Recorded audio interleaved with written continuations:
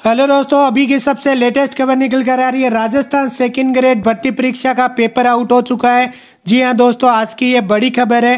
तैतीस अभ्यर्थी के पास मिला है हुबू पेपर बस में विद्यार्थियों के पास पेपर कहाँ से आया है?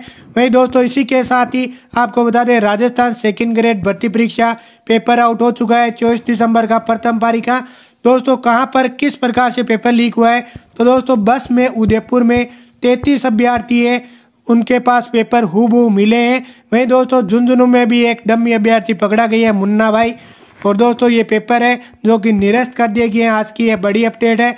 आरपीएससी सचिव हरजीलाल अटल ने पेपर निरस्त करने की की है पुष्टि। सात शिक्षक पेपर हल करवाने वाले पकड़े गए हैं।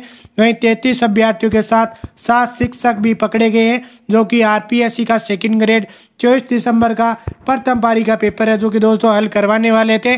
तैतीस और सात। वहीं दोस्तों, एक है जो कि झुंझुनू ज़िले में आपके डमी अभ्यर्थी पकड़ा गया है। दोस्तों, सभी विद्यार्थी सोच रहे हैं कि आपके 21 दिसंबर 22 दिसंबर और 23 दिसंबर का भी पेपर रद्द होगा या नहीं होगा?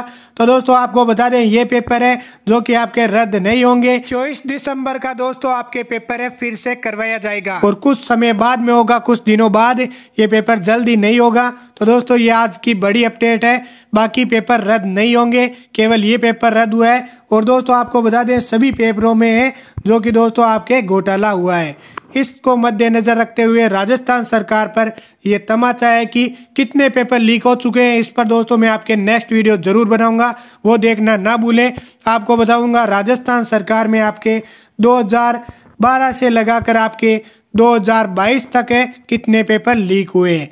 और इसी के साथ ही दोस्तों, राजस्थान की नई नई भर्तियों की अपडेट देखने के लिए first new exam YouTube channel को लाइक और सब्सक्राइब ज़रूर करें। यहाँ पर राजस्थान से भर्तियों से रिलेटेड वीडियो आपके लिए आते रहते हैं सबसे पहले।